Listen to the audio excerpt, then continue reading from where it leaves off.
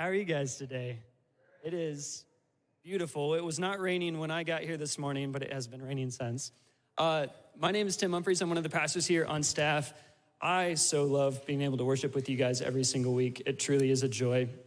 Uh, so last fall, we were approached by someone who wanted to give a large gift towards the vision of the church. And we talked about this last fall and a little bit this spring too. And we as a leadership knew that we didn't need to apply that to our needs in any way. And so we wanted to give it away. And so we were able to, we also provided the invite for others to be able to give alongside it. And we were able to give away about $300,000 at the end of this last year as part of what we're calling a generosity initiative. And so what it is, is we chose three missions partners for us to be able to partner with in order to help catalyze some significant projects for them that they're working towards. The first one was Mid India Christian Mission. We had them here last, well, I guess two months ago in May, and they're working in central India with a lot of in- incredible projects that they're doing. Uh, the second one would be Chris and Aubrey Casey. They're working in and around Europe. And then finally, our third partner is TCM. TCM is a really, really cool ministry in that they work in a specific niche of providing master's level education and Christian spiritual formation, leadership development to Christian leaders in Central Asia, in Eastern Europe, and in Africa, in places that the church for many years wasn't able to work really strongly in. And they're able to sit in a really cool space and be able to resource and leverage the global church in order to drive forward the kingdom of God. And so we're, we were able to partner along with them and cover the cost of a lot of spiritual formation, leadership, leadership development training for approximately 100 leaders that they get to work with. And so we were, that happens because of your generosity. So I'm grateful for that. One of the things we wanted to do, though, is invite TCM to join us for a Sunday to be able to share not just what they're doing, but also what God has for us through his scripture. And so Tom Sears will be teaching through, continuing through as we walk um, Sermon on the Mount. That's what it's called. As we walk through the Sermon on the Mount. I'm a pastor, I know it. Um, I have to think about it for a second. But there's two things that I want you to know before we get started. One is that un, we did not intend to plan it this way, but we are also sending a trip, a team to TCM. So their main campus is in uh, right outside Vienna, Austria. They have a seminary where they bring in students from all over those different places, the Eastern Europe, Central Asia, and Africa. And that's where a lot of the education happens. It also happens in other training centers around the world.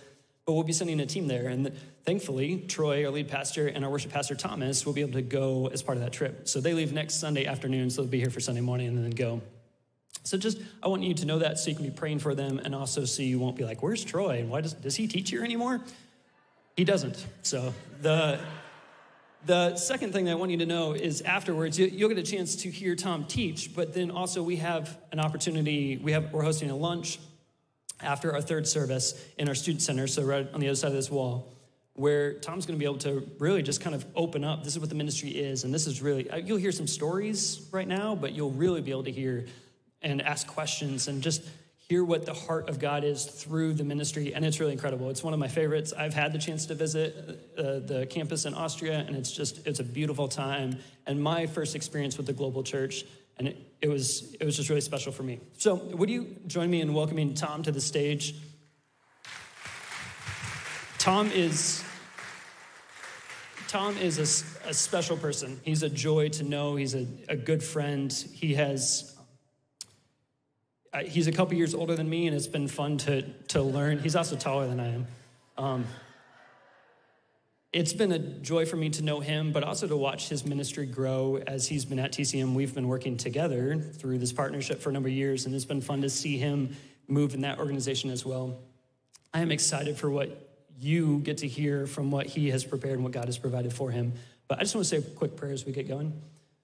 Jesus, we are so thankful for you and for how you are a God who is a provider and a God who who knows our needs and provides us what we need and helps shape our hearts so that way we can set down what we don't need and be able to hold on to what you have for us.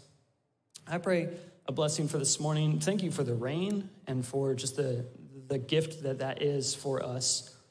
Um, and thank you for these people and just the opportunity for us to worship together as a church with your whole church around the world and to know that we are getting to celebrate you together in that. I pray for Tom's words that as he teaches, it will be uh, challenging not only for him, but for us as we are letting your spirit work in our hearts and shape us and form us to look more like you. God, I ask that you help us be humble and open hearted and hear what you have for us. We're thankful for you, and we, we want nothing more than to look more like you. So do that in our hearts today. God, we love you, and it's your name we pray. Amen. Amen.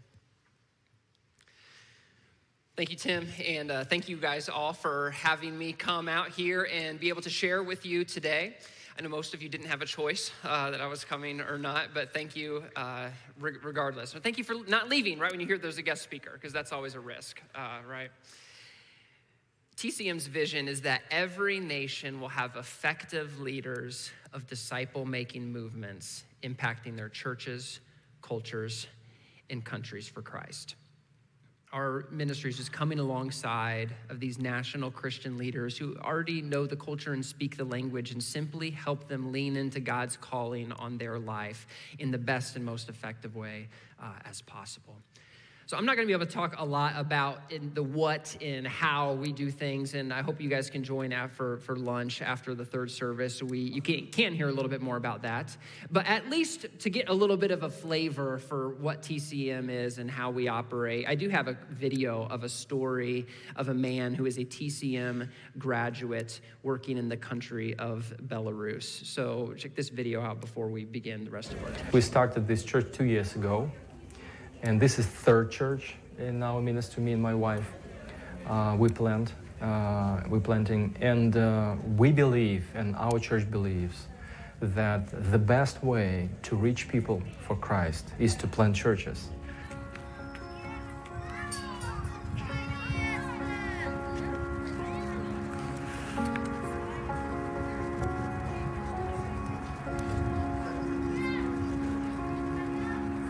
My name is Sergey.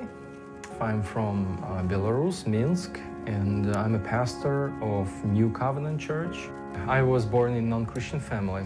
My father was Soviet Union officer, so I never heard the gospel, never heard anything about God. But um, my grandmother, she was a believer, and uh, when I came to her every summer, before I go to sleep, she read New Testament as a fairy tale.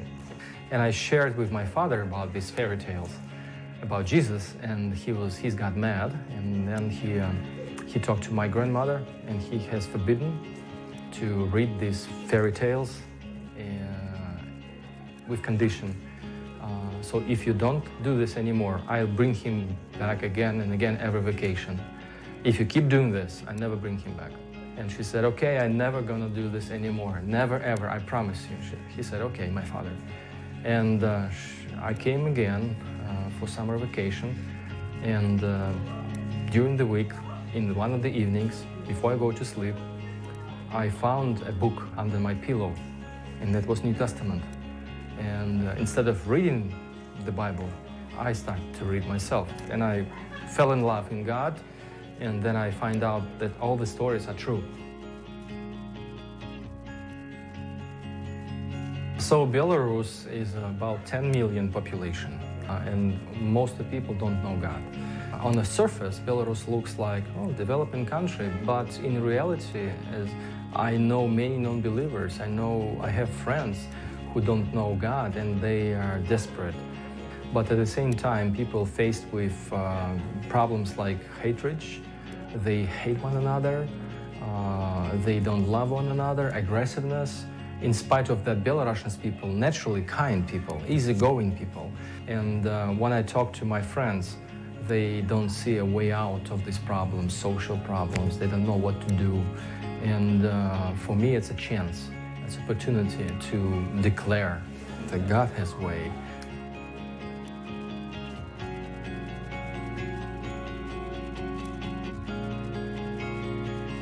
as far as for me, I believe Jesus did not invite us to plant church. He invited us to make disciples. And uh, it's a, at first glance, it's not a big difference, but actually it's a difference because as far as for me, I'm a pastor practicing disciple making.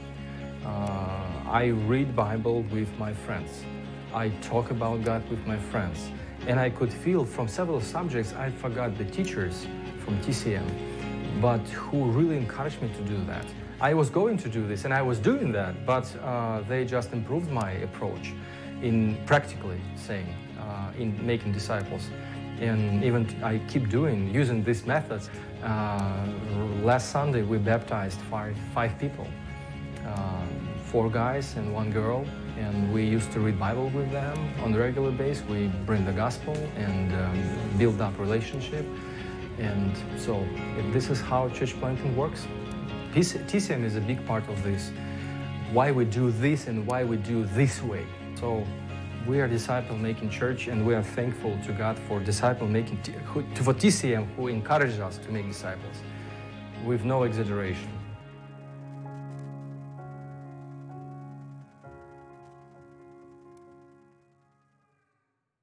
I think that uh, Sergey is such a great example of the hundreds of graduates we have all over Eastern Europe, Central Asia, and in Africa, is because he, he talks on the point of, you know, it wasn't TCM that called me to ministry. It wasn't TCM that called me to do this. No, the Lord does this. The Lord convicted my heart. The Lord called me uh, to, to, to be this pastor.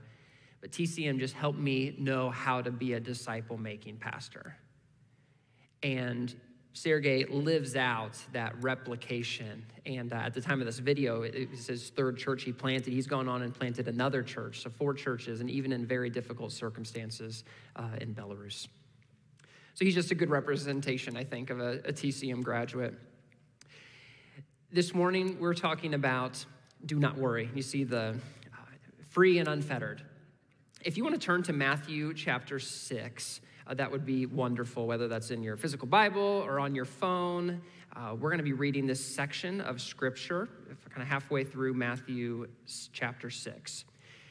As Tim mentioned, it's in the Sermon on the Mount. And what I think some, one of the things that's amazing about Jesus is he always anticipates the next thing that someone's thinking you know, or the next thing that someone, the next question that someone's going to ask. And after Jesus spoke about this section on treasures in heaven, and I know your church has been preaching about this uh, along with this generosity initiative, that we are called by Jesus not to store up treasures here on earth, but to store up treasures in heaven, where things do not, will, will last forever, um, where thieves can't break in and steal and moths don't destroy. And so I'm sure Jesus is imagining, okay, what are the people going to be thinking when they hear this? They're thinking, okay, Jesus, if I'm putting all my resources in this way, and, and if I'm storing up treasures in heaven, well, what about, what about me? What am I going to eat? You know, what am I going to drink? What am I going to wear? How do I provide for myself and the things of this world? Because life is hard sometimes. Well, what do I do about that? And so, perhaps without even someone physically asking that question, Jesus answers that. And so, we're looking at Matthew 6, starting in verse 25. And I'm just going to read this section for us, and you all can uh, follow along. I'm reading from the NIV. Jesus says, Therefore, I tell you, do not worry about your life, what you will eat or drink, or about your body, what you will wear. Is life not more than food and body more than clothes? Look at the birds of the air. They do not sow or reap or store away in barns, and yet your heavenly Father feeds them. Are you not much more valuable than they? Can any one of you, by worrying, add a single hour to your life? And why do you worry about clothes? See how the flowers of the field grow? They do not labor or spin. Yet I tell you that not even Solomon, in all of his splendor, was dressed like one of these. If that is how God clothes the grass of the field, which is here today and tomorrow is thrown into the fire, will he not much more clothe you, you of little faith? So do not worry, saying, What shall we eat? Or what shall we drink? Or what shall we wear? For the pagans run after these things, and your heavenly Father knows you need them. But seek first his kingdom and his righteousness, and all these things will be given to you as well. Therefore, do not worry about tomorrow, for tomorrow will worry about itself. Each day has enough trouble of its own. What I'd like for us to do to start out as we consider this passage is I want you to think of the one biggest worry that you have in your life. And in fact, I'd really like you to write it down because we're going to look at it again. If you have a pencil and paper, a journal, something, write that word down. If you don't, pull out your phone right now. Pop open your notes and write down this one thing. Try to get it to one word.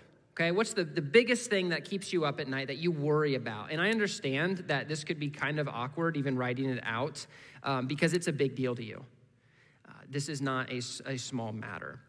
If it's a person, maybe it's a person that is your biggest worry, and you're constantly thinking of this person. Maybe they've gone off the deep end or, or, or whatever it is, and you worry about this person. Write that person's name. I want every one of us to think of what is that biggest thing that we worry about the most and write it down.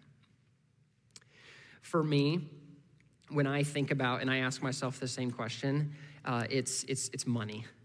And I'm almost embarrassed to think about it when I look back at my life and how much God has provided in just amazing ways. I, I still worry about uh, money. I have seven kids and uh, working in ministry, and my wife stays home with them and homeschools. And as you can just imagine, things are a little tight, you know, from, from month to month. And as the kids get older, they eat more and more too. I don't know if you've experienced this. Um, but it, this is my struggle, and I, I, don't say this this lightly. And it's the one thing I constantly have to give over to God because I end up worrying about it, and then I'm good for a while, and then I, you know, the bills come in, and you you you log onto your bank account, and, and you see these things, and sometimes just things just don't line up on paper. Uh, and this summer has been probably my biggest uh, struggle to make a super long story short, I'm from Indiana, and the state of Indiana bought our house and a bunch of other property around there for big industry. And so we were kind of forced out of our house. Um, and I have nothing to complain about because God provided this awesome other house. We're able to move in there. But for this summer, the timing worked out that I actually own both houses and will for three months. And so for three months, you have the double payments, the double insurance, the double, you know, all these things. And fortunately, we've completely moved out of one, so we can at least, you know, turn the air off and stuff like that. But more than ever, it's just been a constant like worry. Um, and so a few weeks ago, I know I'm coming out to Council Bluffs, and he said, "Sure, I, you know, I can preach, you know, what you guys are talking about." And I get this text from Tim says, "Hey, we want you to preach on this passage about do not worry." like, okay. And I laugh about it now, but it wasn't funny at the time. and I began worrying about this sermon. And, uh, you know, to, to, to summarize, what I want to say is that before, you know, weeks before even we're here right now today talking about this, I really, really needed uh, this verse. I really, really needed uh, Jesus in talking in this, in this Sermon on the Mount about do not worry, but seek first the kingdom of God. Uh, and it has been a hard few weeks, but has been so, so good. And of course, a total God thing that he says, Tom, I know you need it. you need it probably more than everybody else at Council Bluffs, so you're gonna, you're gonna preach on it. Uh, you looking at your word, it might not be money, but I know it's something that also is a really big deal to you or it's somebody who means a lot to you. As we look at this passage, there's a few things I think that Jesus is not saying that I want to be super clear about. First of all, I don't think he's specifically talking about people who might have serious clinical mental health issues. These are a super, super serious things. And in addition to engaging Jesus in this sermon, they might need to get serious uh, help for those things. I also don't think this is talking about this surface level anxiety that sometimes we get. Uh, for me, sometimes I get it when I eat too much sugar or drink too much caffeine, you know, and you just get kind of jittery. Uh, or it's a real thing where you are stimulated so much by you know your phone and your work and your job and just all of these things that can be right in front of our face in this life that your blood pressure even like raises and you have this level of anxiousness and it really takes just kind of backing away and getting rid of some of these stimuli um, to kind of re you know get good again. Um, I, I don't i don't think that's what jesus is talking about what I do think this passage is really trying to teach us is about our posture towards the things in our life out of our control and our priority for the things that are in our control. Okay, so we're talking about posture and priority. Our posture towards the things outside of our control and our priority for the things within it.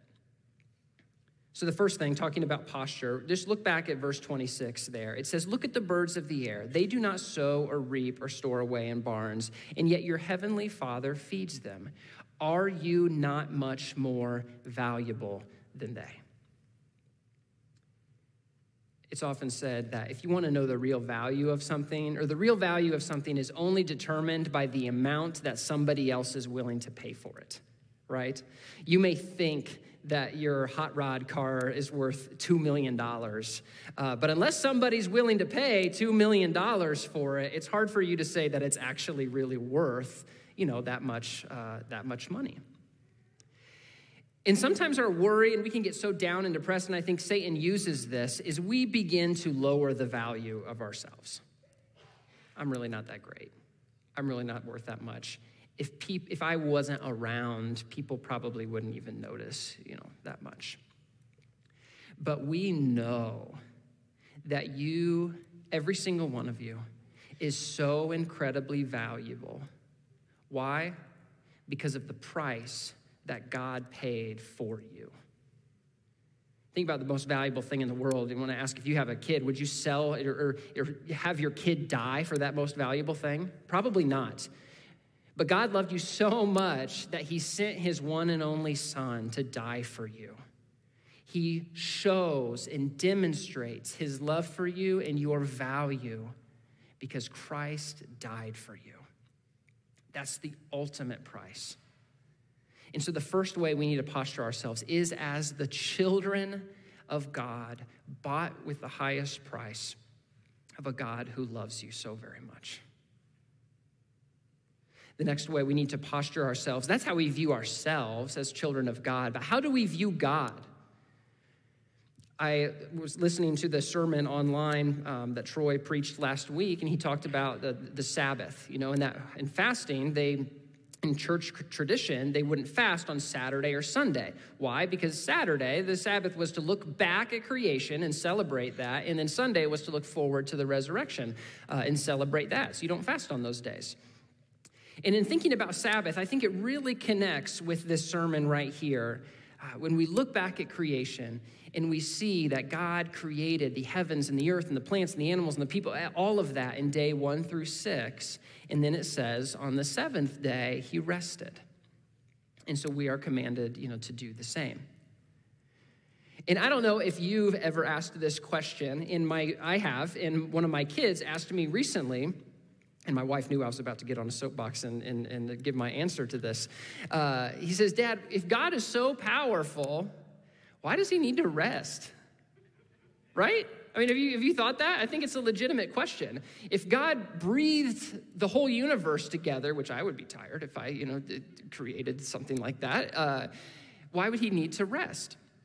And when we look at this word rest and how it's used in the Old Testament, when the word is used when referring to a king, multiple times in the Old Testament, you will see that it shows that a king rests on the throne. And there's one verse that I think is really powerful I want to bring to your attention. It's Psalm 132, verse 14. It's a great example of that. It says, This is my resting place forever and ever. Here I will sit enthroned, for I have deserved it. You see, God doesn't rest in a bed. The king of the universe who created everything doesn't rest on a couch. There's only one place for the Almighty God and all powerful God to rest, and that is on a throne.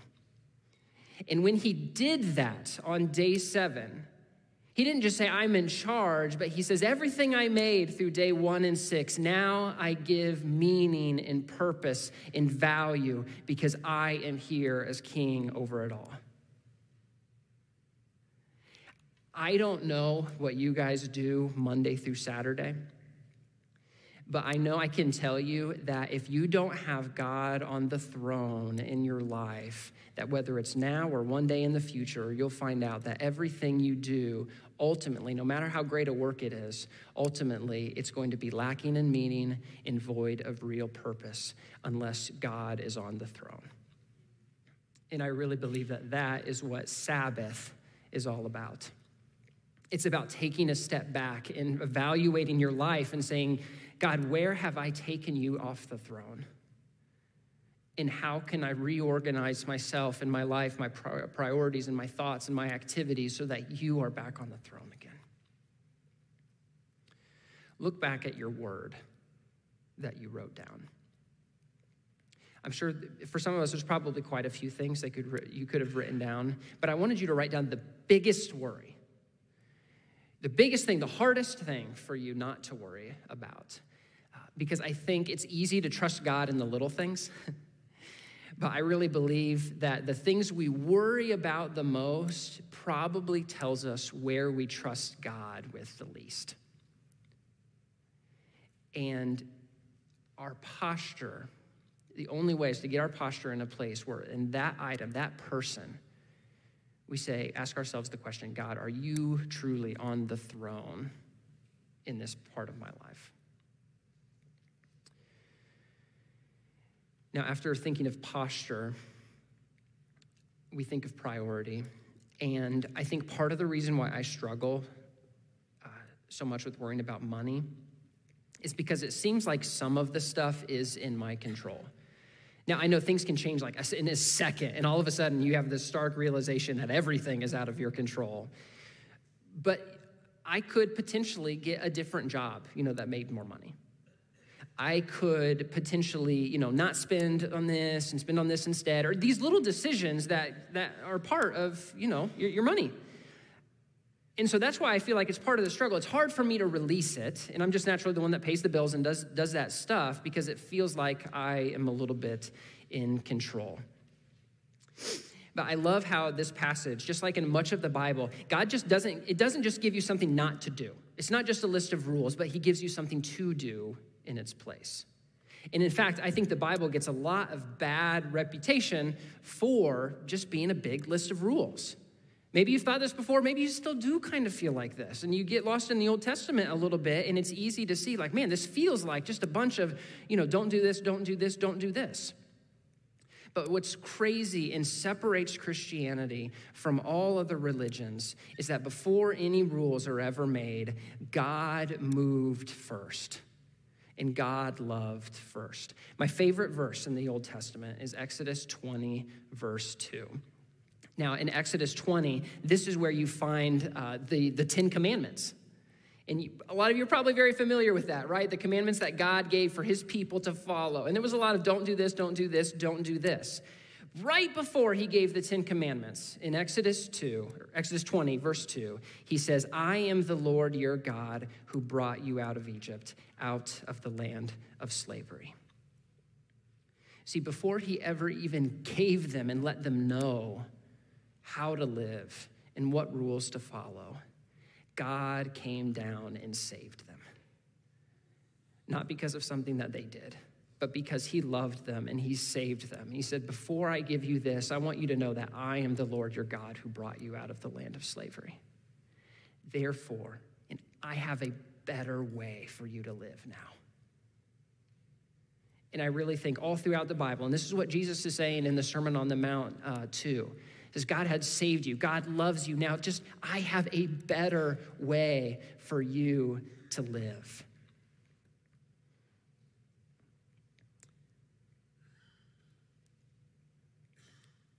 What is the thing that he tells us to do?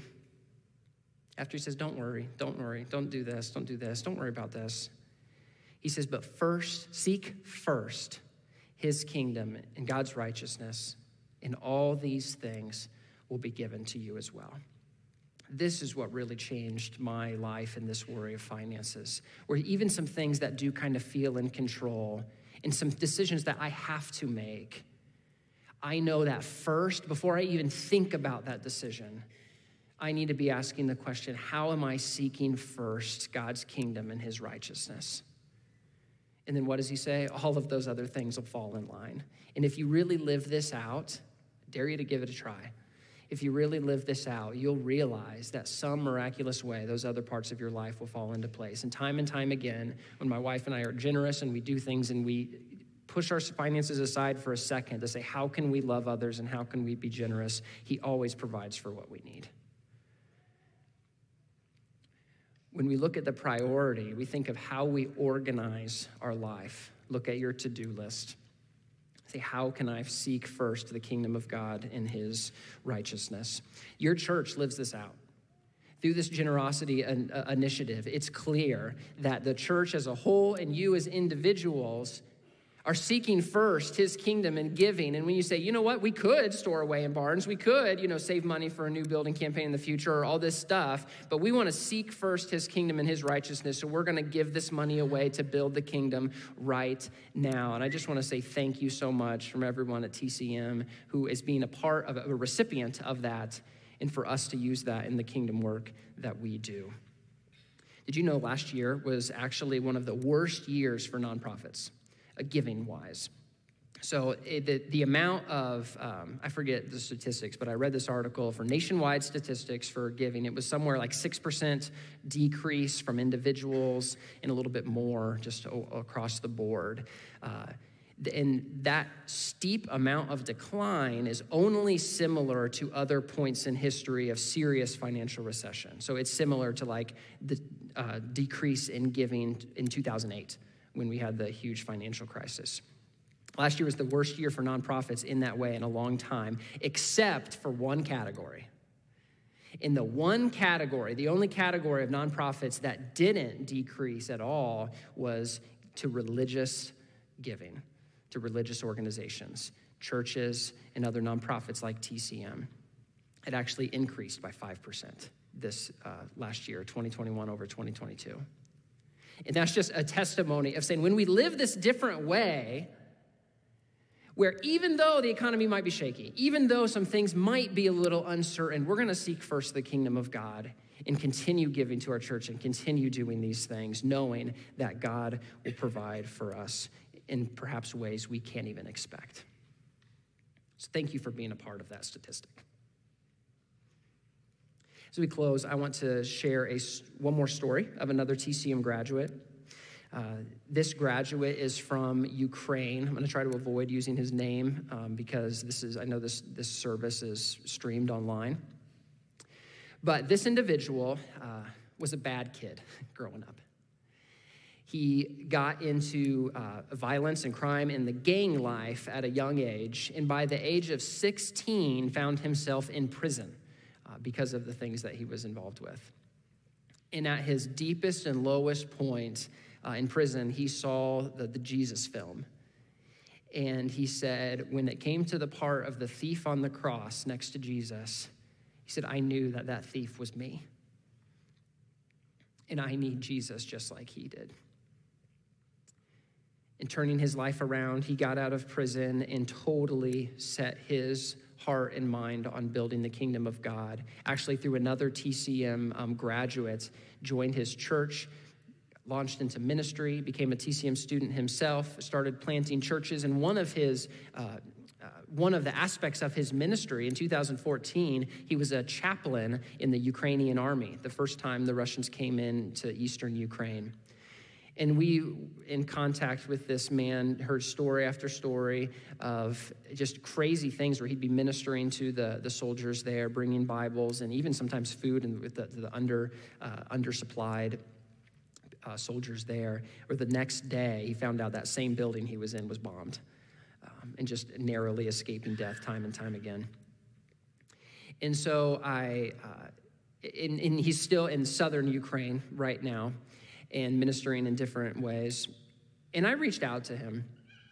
This was um, on Monday, so about six days ago. And I said, in the light of this situation of, of you in Ukraine and what's going on there, Matthew 6, this part of do not worry, what, what does that mean to you? And so graciously, he sent back a few voice messages actually. Um, because that was the most convenient for him to, to do that. And so I transcribed some of what he said and paraphrased it here, and I just want to read his response um, to that question. He said, Brother Tom, thank you so much for the question about this passage. In my view, this passage addresses our desire to control and leads us all to beg the question who is ultimately in control, us or God? Our natural tendency is to try to keep things under control with our own power. And when situations outside of our control go wrong, this naturally brings fear. Let me tell you a story about what happened to me yesterday. Yesterday was Sunday, and I went to preach at a village that's a half a mile away from the front line of battle with the Russians. Every time I go to this village, I tell my wife and children goodbye because I know there's a chance I may not come back. Right at the point I was preaching on being grateful, bombing began all along the civilian street where the house of prayer was. One of the bombs hit directly to the house right next to us, destroying it completely. In the house where the church was meeting, plaster on the ceiling of the building began to break and some fell to the ground. You see, Tom, in that moment, you realize there's absolutely nothing you can do. You feel so hopeless. When the bomb started, I first got really worried when I noticed the dogs. In Ukraine, we have many dogs that are trained to guard the houses, and these dogs never come inside under any circumstances. But when the first bomb came down on that street, all the dogs came rushing in the house in fear and almost knocked me over. I've had several cases of this type of danger during this war, and each time was very different. Each time was scary. And I always have the thought, that could have been me. And when that thought comes, I would instantly lose peace and begin to worry. But yesterday, I didn't bother myself with that thought. Instead, I made the decision to realize that I cannot control the direction or the timing of the bombs, but God is in control. And when you view the world where everything is in God's control, the chaos just goes away.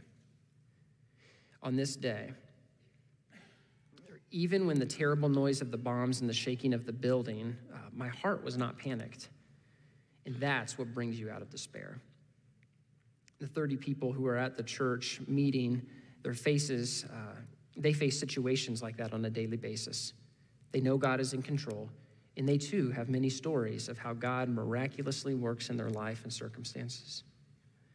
Even with many people leaving the cities for safer places, the churches are filled with Christians and seekers all over the south of Ukraine. That's the answer.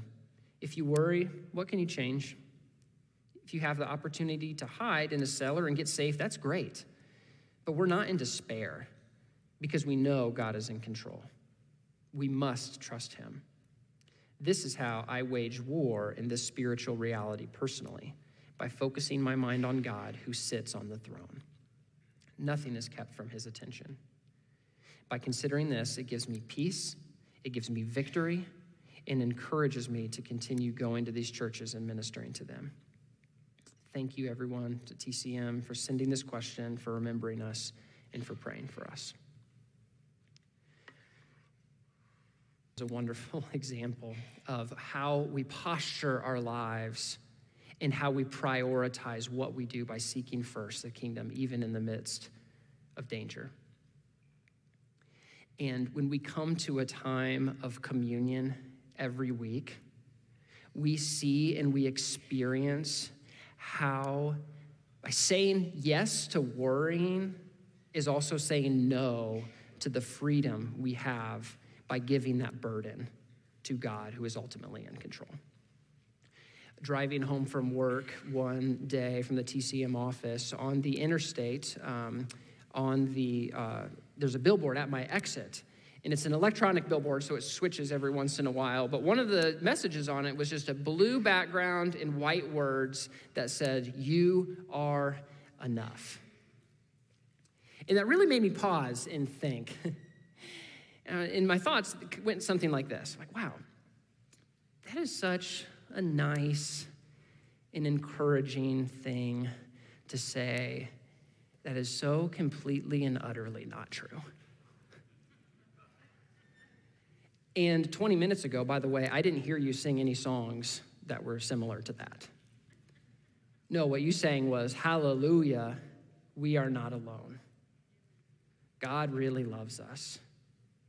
His mercy is enough. As a dad, one of the biggest things I want my kids to know growing up is that they are not enough and they never will be. But there is one who is enough. And God loves them so, so very much that He sent somebody who is enough so that they never have to be. In this time of communion, I want you all to look at that word that you wrote down one more time. And as you consider this and we take communion together, I'm going to leave so a little bit of time of silence. And I want you to envision laying that word or laying that person at the foot of the cross. So, will you pray with me? Father, Lord, you are so good in giving us even this message. These worries that we have are real, and we know that you know them. You know the worries better than we even do, and you love us more than we can even imagine. Father, as we lay these at the foot of the cross, we acknowledge that only you are enough. And we are just one catastrophe away from really experiencing that we are completely out of control. So we give this to you in your control. And over the next 30, 60 seconds, just want to silently reflect on this and give this to you, Father.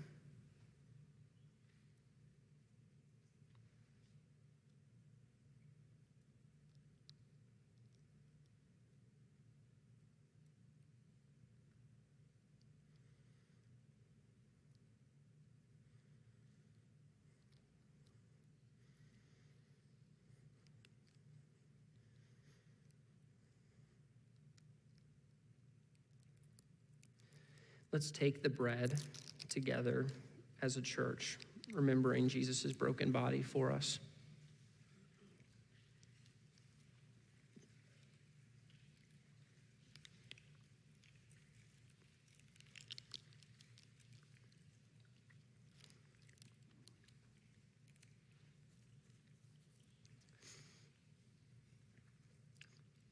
And let's now take the juice together, remembering Jesus' sacrifice.